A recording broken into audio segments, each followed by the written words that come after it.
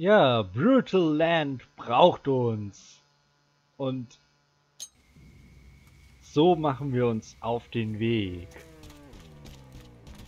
Don't worry, we'll go free those women soon, I promise. Every second we wait is just one more moment they spend in degradation and danger. Äh, ja. Äh, by the way, was mir eben noch, äh, was ich eben vergessen habe zu sagen, also für mich ist eben halt noch die letzte Folge.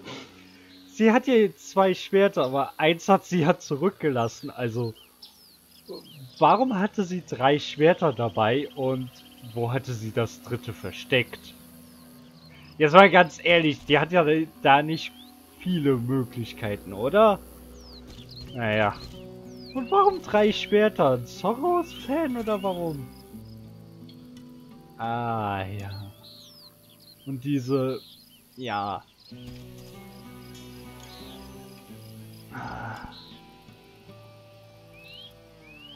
Ach, mein. Dieses... So ein Spiel einfach mit einer elektrischen Gitarre ohne Verstärker zu spielen. Bringt bei mir richtig ähm, Gänsehaut hervor, einfach weil ich damit richtig geile Erinnerungen verbinde. Ähm, weil mein Vater hat für sein Leben äh, gern halt äh, mit seiner Gitarre gespielt und eben auch des Öfteren einfach nur so quasi akustisch. Und ja. wenn man das dann, wenn man sich dann so an seine Kindheit wegen sowas zurückversetzt fühlt. Schön. Einfach schön. Naja.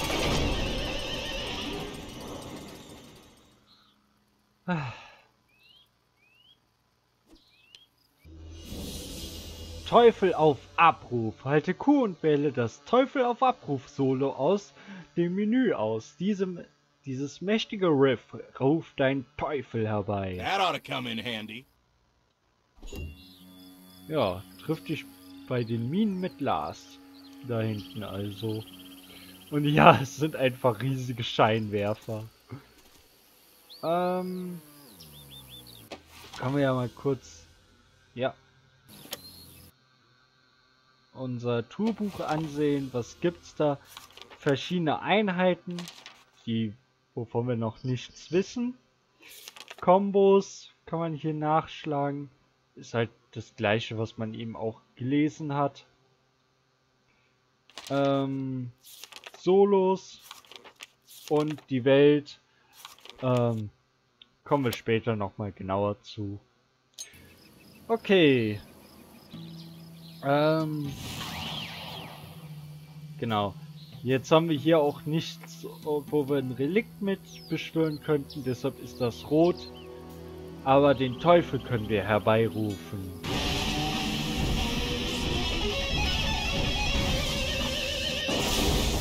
Yeah!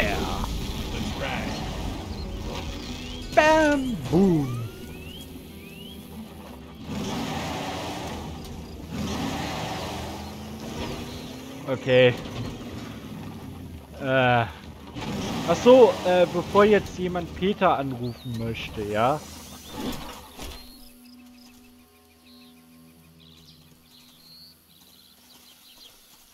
Äh.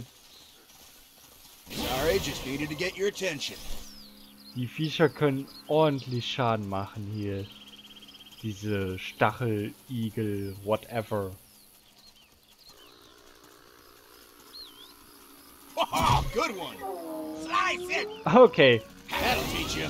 Time to raise hell. Und, ja.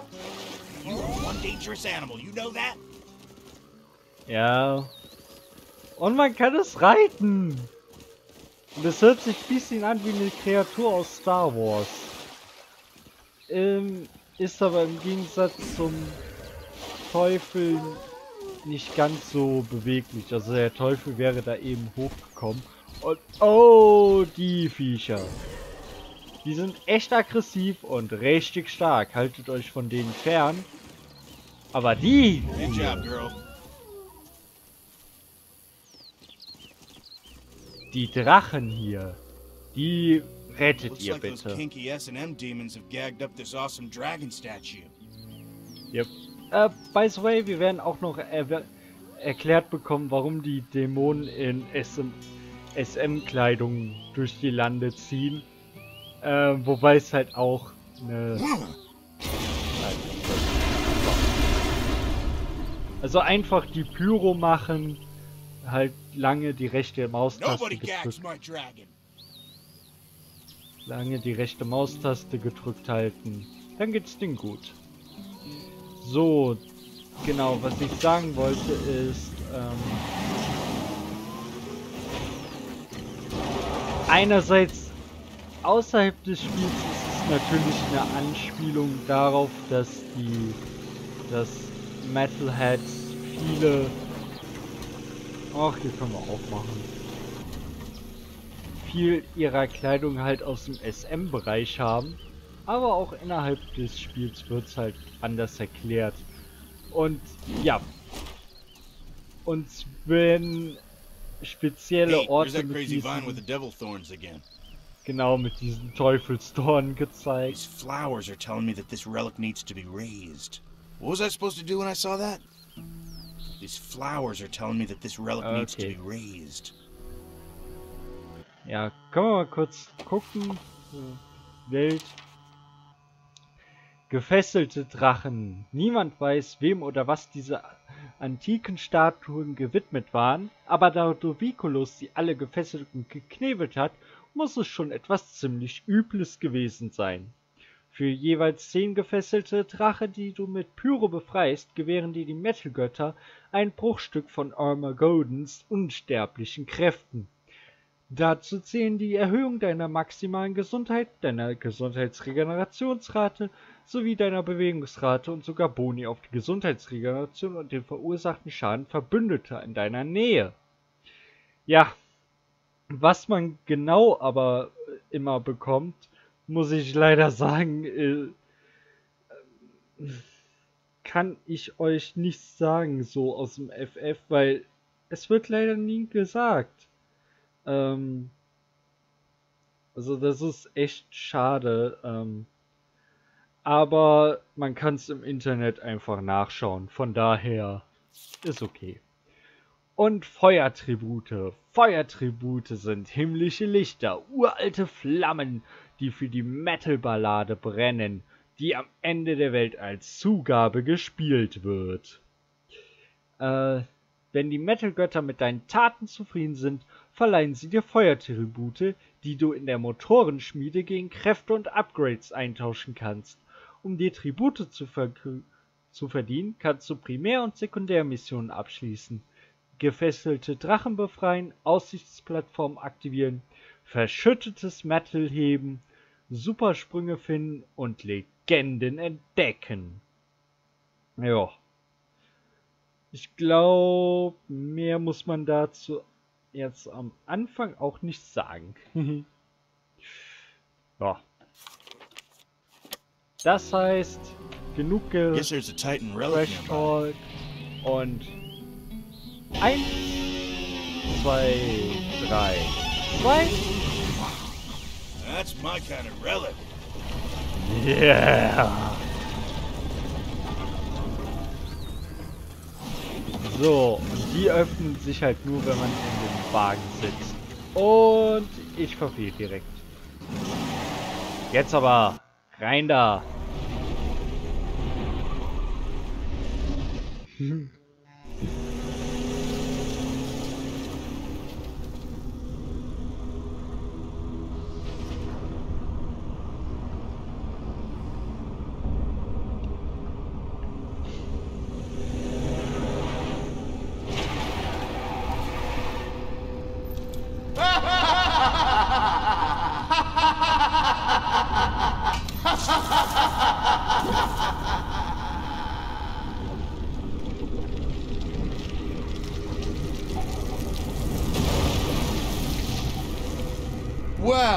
it's about fucking time. Not bad. Looks like you figured out the instructions okay.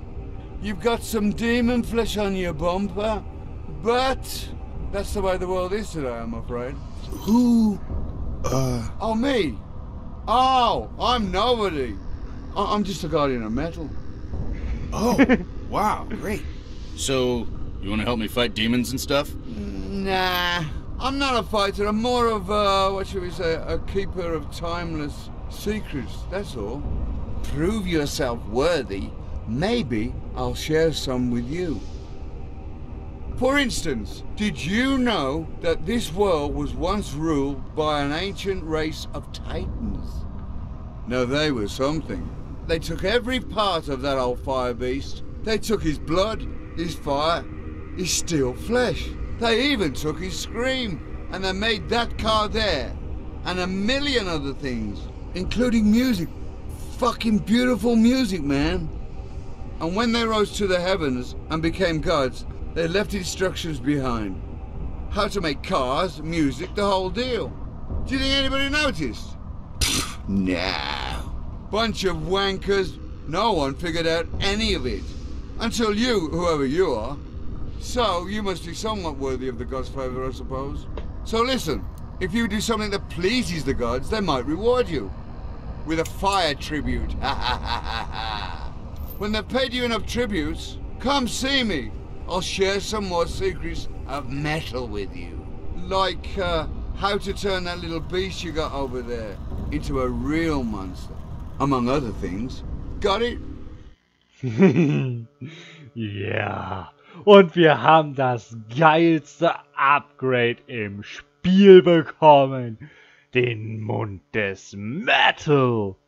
Dafür, dass du den heiligen Teufel an, an den Ort seiner Erschaffung zurückgebracht hast, haben dich die Titanen mit dem Mund des Metal belohnt. Jetzt begleitet dich das Lied der Titanen, wohin auch immer du gehst. Drücke P, um ihn individuell anzupassen, nach oben, um ihn ein- oder auszuschalten, warum auch immer man das tun sollte, und nach links oder rechts, um nächsten oder vorherigen Titel zu springen. Ja, Gods have already paid me tribute, so maybe we could talk secrets now. Aren't you the cocky bastard? okay. Yes, take care of your car. Ja, hier haben wir noch nix bei den Teufel-Upgrades. Wir haben, Now these are a lot bigger than they look. okay, Rex und General Linewhite haben wir bereits äh, bei Mount Rockmore. Äh, keine Ahnung, wer Rasputin und Tim sind. Äh, nehmen wir einfach mal mit, kostet ja nichts. I've got a couple of moves I can show you. Okay. Feuer, Akkord und Power Slide kosten noch zu viel, von daher uninteressant. Ah, das Black Metal Outfit. Trauer in diesem düsteren Outfit um die Seelen jener, die dem Meer der schwarzen Tränen zum Opfer gefallen sind.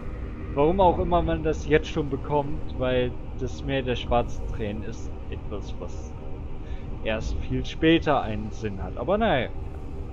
Nehmen wir einfach mal mit und Already got that. äh, wir bleiben noch beim Original. Später können wir mal wechseln. Axt Pain comes in many flavors. Ein Geschenk der Feuerbestie an die Ersten. Oder halt der ganz normale. Komm, wir nehmen die Klinge The way Armageddon intended. schon. Gefällt mir einfach persönlich deutlich besser als die hier. So, Gitarren. These strings come with a free paint job, I should mention. Genau. Durchschnitt, deine durchschnittlichen alltäglichen Gitarrenseiten aus der Zukunft. Oder der Liebesbote. Okay, die nächste Band hat mich gebeten, folgendes zu verlesen. Warnung. Diese Gitarre verschießt heiße, reinste Liebe in so konzentrierter Form, dass sie fast jeden tötet, der sie empfängt. Ladies and Gentlemen, der Liebesbote. Tenacious D! ja. Ganz ehrlich, mir gefällt Clementine eigentlich besser, aber der Liebesbote ist halt einfach auch geil. Einfach ein geiles Easter Egg. So, Backpatches. Yeah. True. Das Double Fine Logo. Also der Entwickler. Einfach Armageddon. Das Cabbage Boy Logo. Warum auch immer man das äh, machen sollte. Zeig deine Unterstützung für die heißeste Tween Band der Welt.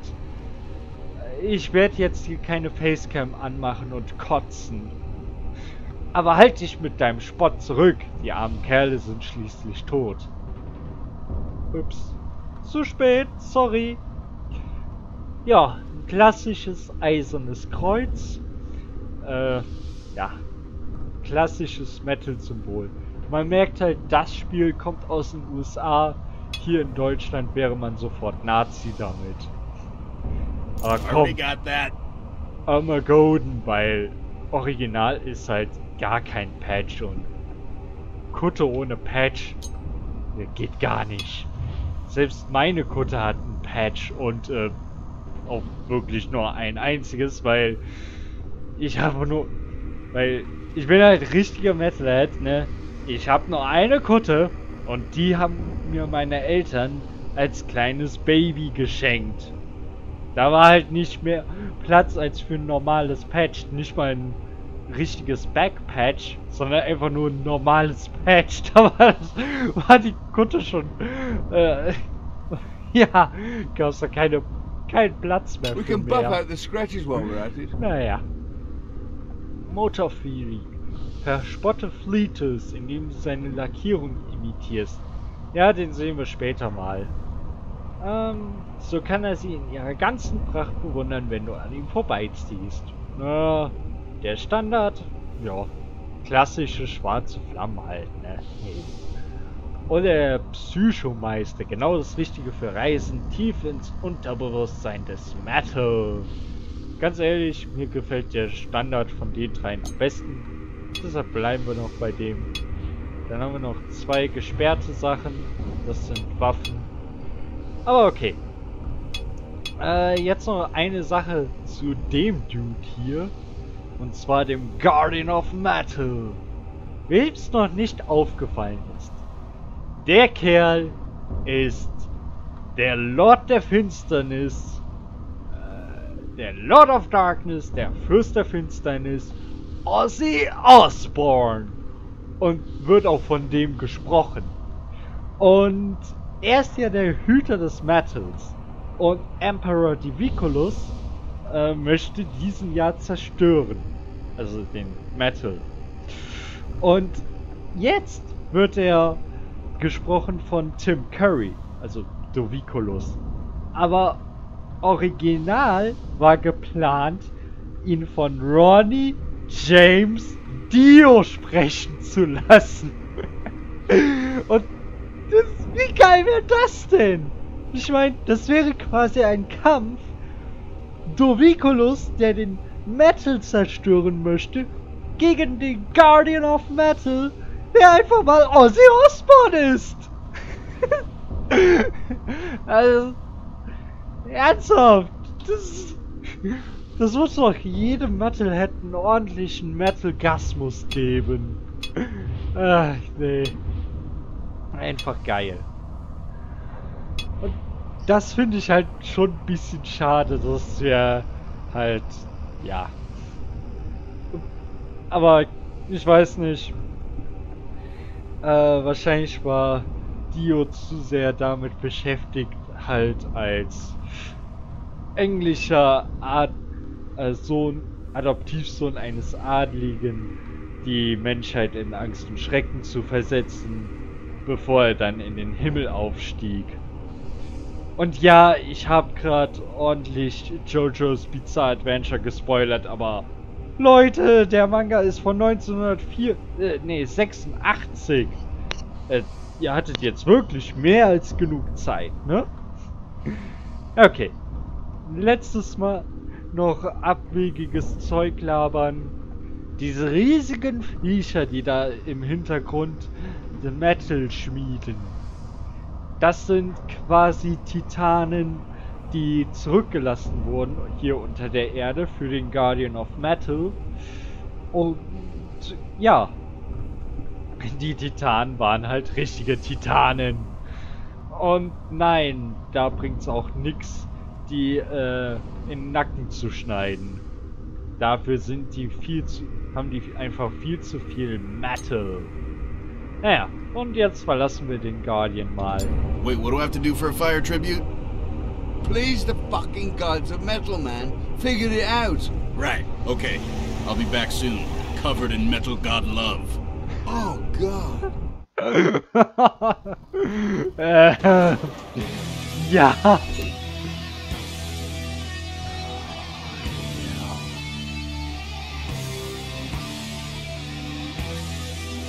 Judas Priest. Oh yeah.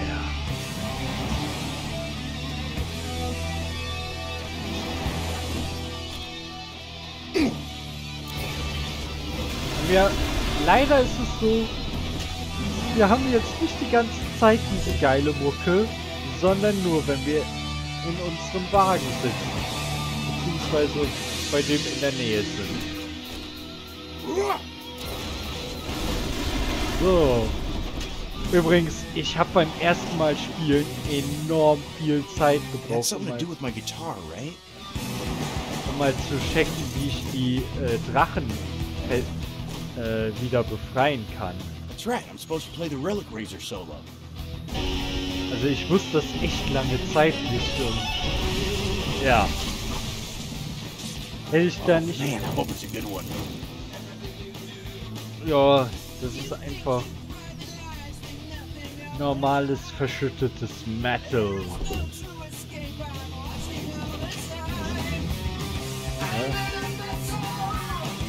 Ja.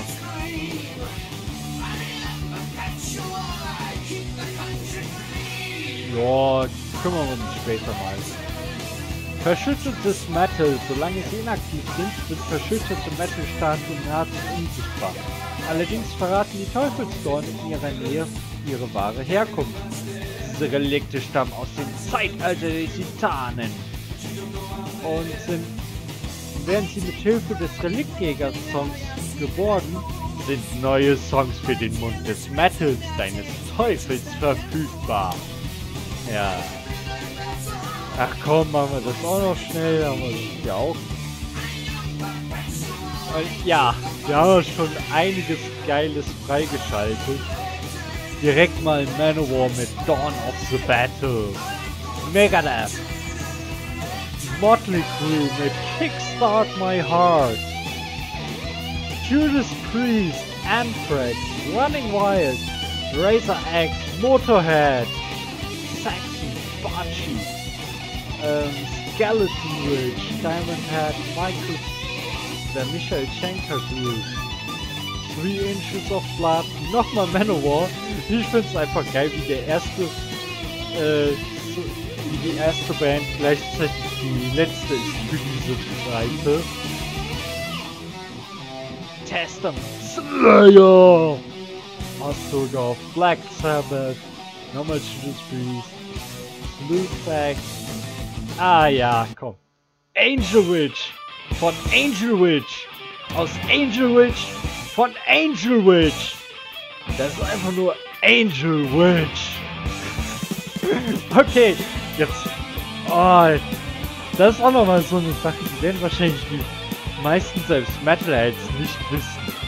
Aber der Song Angel Witch von der Band Angel Witch kam von ihrer ersten Band, äh, von ihrer ersten Album, halt Angel Witch. Und ja, das kam 1900, äh, ich meine 1981 raus. Ich lieg falsch, deshalb nennen sie mich Angel Witch. Ah, ich finde den Song so geil. Ah je. Bachi, Rockasand, Accept, Savatage, Motorhead, Riot, Broken Roof, Corona, nicht zu we- wechseln mit Corona und Omen. Ach Also ihr seht schon, richtig geile Songs. Insgesamt 107 Metal-Songs plus 20 äh, Songs, die für das Spiel gemacht wurden. Und wir haben erstmal 31 Prozent davon. Ah, das macht so Spaß. Ernsthaft, warum mache ich hier ein Let's Play draus? Ich sollte die Klappe halten und einfach die Musik spielen lassen. Oder? Was meint ihr? Naja. Jetzt muss ich leider abbrechen, weil...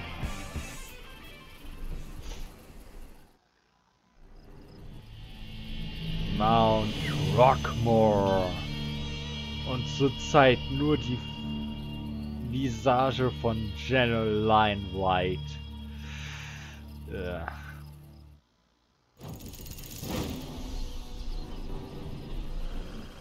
Aber dagegen werden wir bald etwas unternehmen.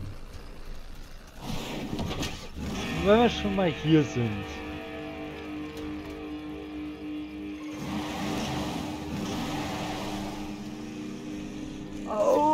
Yeah! Das war unser erster Glühwürmchensprung. Und ich dachte fast, ich hätte ihn verkackt. Hm. Aber das war gut. Und ja, auch davon gibt es jede Menge. Bam! Ja, huh.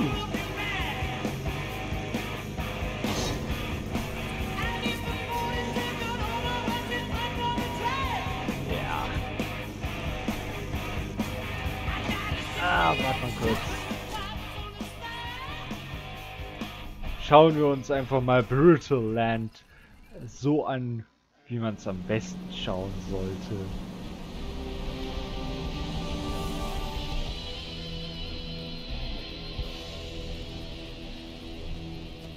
Ach so, das ist nur für die Klippe. Oh, schade. Aber komm schon. Sieht schon geil aus, oder?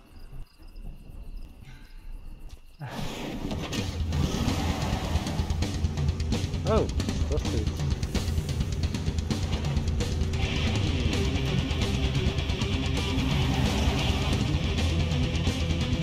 Ah, mit Leihkarten angezeigt.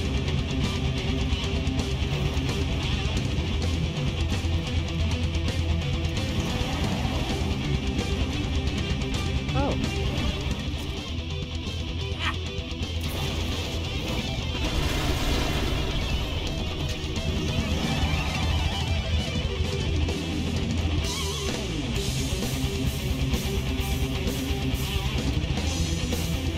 Einfach hier rumcruisen und den Metal genießen. Im Grunde reicht das ja schon für ein geiles Spiel, oder? Ich meine, richtig geile Musik und... Ja.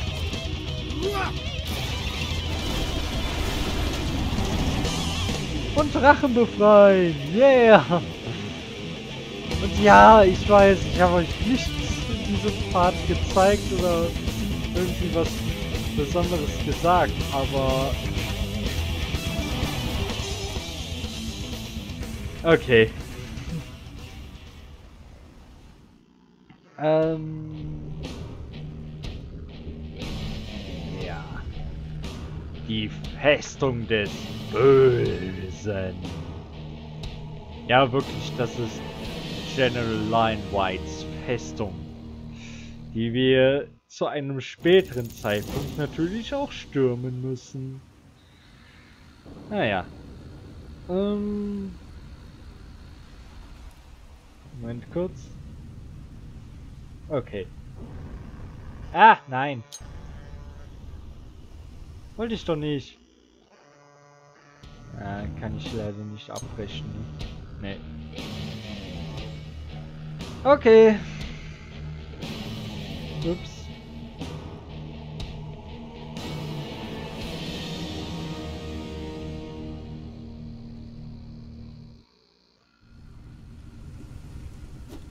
Okay.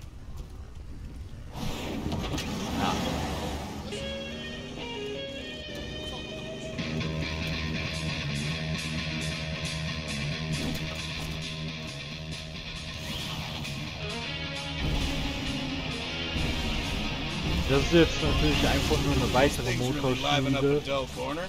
Und wir kommen immer an dem gleichen Punkt raus, wenn wir durch die fahren.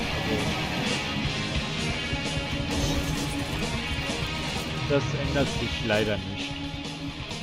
Was ich ein bisschen schade finde. Well, I hope it's a good one. Naja. Was hat uns das jetzt gebracht? Truppen sammeln. Rufe all deine Truppen, egal wie weit entfernt sie sind, zu deiner aktuellen Position, okay? Nett werden wir auf jeden Fall irgendwann gebrauchen können.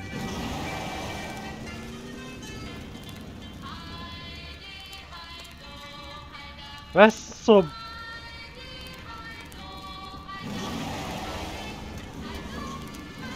Okay.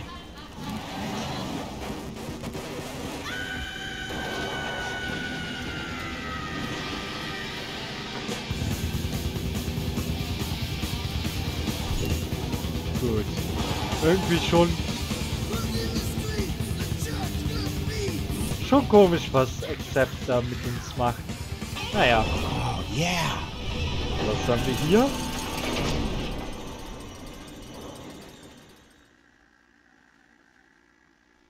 Und es ist... Ah, Flagge zurückrufen. Rufe die Sammelflagge zu deiner aktuellen Position. Ja, Good one. Ja. Kommen wir auch später zu. Ah,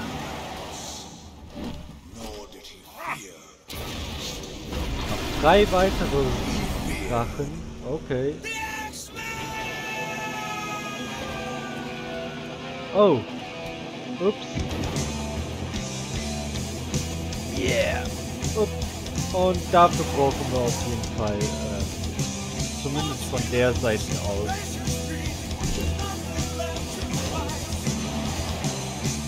Ähm, Nitro. Naja. Ich glaube, wir haben jetzt schon... Ich würde ja eigentlich ganz gerne noch zeigen, was wir zu, als erstes bekommen, wenn wir die zwei weiteren Drachen noch befreit haben. Aber ich glaube, da, dafür fehlt mir die Zeit, ne? Yep. Schon über eine halbe Stunde.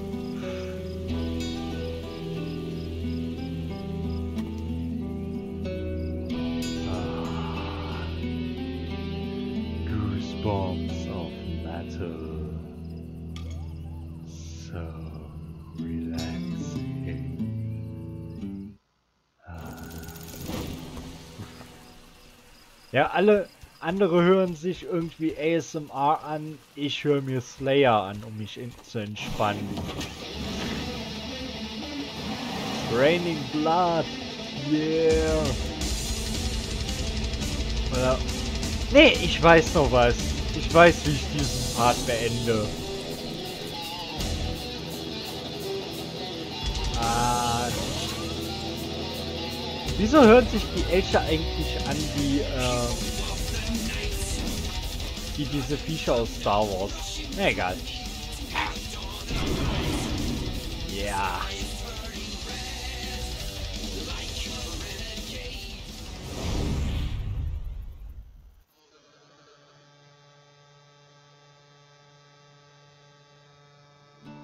In the beginning, all was darkness. That was how the first ones preferred it, for they were so hideous that even they could not bear to look upon themselves. Then came the Fire Beast, a giant monster of flaming molten iron who roared across the sky like an angry comet. His metal body burned so brightly, it illuminated the world and all its hateful creatures. He was Armageddon, cremator of the sky, and the first ones loathed him because his light forced them to see themselves as they truly were. So they hid underground and dreamed of a day when they could murder the fire beast and rid the world of his light forever.